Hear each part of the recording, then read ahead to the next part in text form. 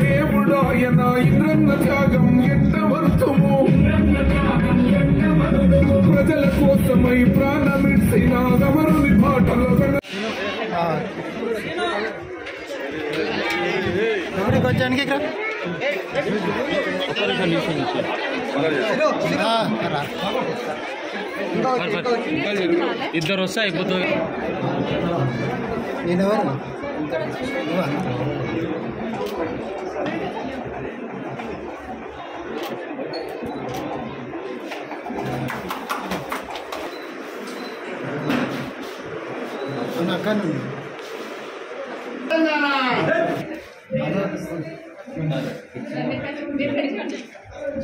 మద్దతు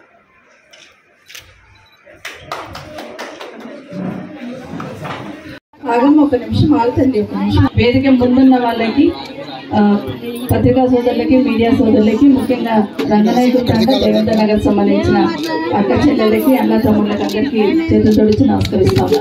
అమ్మ ఆగమ్మ ఒక నిమిషం ఆగుతుంది. నువ్వు కూర్చో నువ్వు కూర్చో.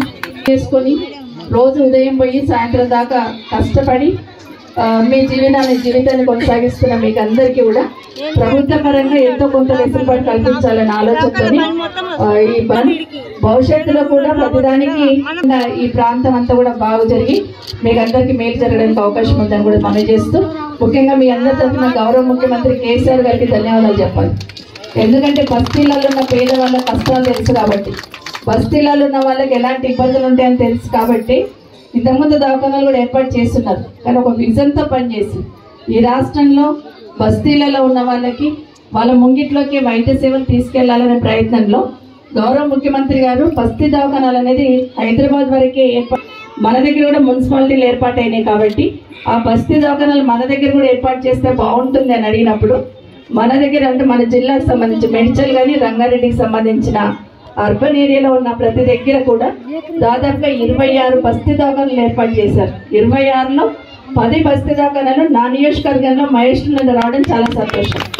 ఆ పదిలో ఒకటి ఇప్పుడు ఇక్కడ ఏర్పాటు చేసుకున్నాం ఒకటి బాలాపూర్లో ఏర్పాటు చేస్తున్నాం ఒకటి అల్మాస్ కూడా ఏర్పాటు చేయడం జరుగుతుంది.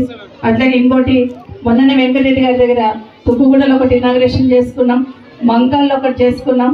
ఇంకా ఎక్కువ కావాలని ప్రతి బస్తీలో ఏర్పాటు చేస్తే బాగుండు అనేది చాలా మంది అడుగుతున్నారు అయితే మీరందరూ కూడా ఇక్కడ కమ్యూనిటీ హాల్ ఉన్న సందర్భంలో బస్తీ దవాఖాన ఇక్కడ ఏర్పాటు చేయకపోతే మళ్ళీ ఇంకో దగ్గరికి మార్చే అవకాశం ఉంటుంది కాబట్టి నిజంగా ఇక్కడ నీడీ పీపుల్ అవసరం ఉన్న పబ్లిక్ అంతా ఇక్కడే ఉంటారు కాబట్టి ఇక్కడ ఏర్పాటు చేయండి అని చెప్పి ఆదేశించడంతో పాటు ఆ రోజు ఇక్కడ ఎన్ని రకాలుగా కొంత ఇబ్బంది ఏర్పడ్డా కూడా తప్పకుండా మీరు కోరుతున్న కమ్యూనిటీ హాల్ కావచ్చు ఇంకోటి కావచ్చు దాన్ని కూడా ఏర్పాట్లు ఎక్కడో దగ్గర చూసే ప్రయత్నం చేద్దాం. కానీ మొదటగా మన ప్రాంతానికి వచ్చిన బస్తీ దవాఖాన పోకుండా చూసుకోండి అని ఆ రోజు చెప్పడంతో పవన్ కానీ స్థానికంగా ఉన్న నాయకులందరూ కూడా సహకరించి ఏర్పాటు చేసుకున్నారు. ఈరోజు మీ డాక్టర్ అమ్మ పొద్దున తొమ్మిది గంటలకు వస్తే సాయంత్రం నాలుగు గంటల దాకా ఉంటుంది. రోజు ఇక్కడే ఉంటుంది. ఆమెతో పాటు ఒక హెడ్ నర్స్ ఉంటారు. ఇంకొకరు ముగ్గురు ఉంటారు ఇక్కడ.